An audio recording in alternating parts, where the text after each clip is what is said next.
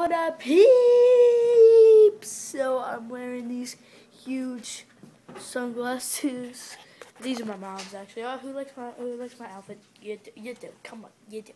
So I'm wearing these huge sunglasses. The sunglasses, sunglasses. Oh no, sunglasses. Sneakers. Uh, so I'm about to go outside and play wiffle ball. But I just want to show you how gangster I look with these glasses on. So yeah. And these are actually pretty good glasses, you guys. They're pretty good, but they're huge. Look how big they are.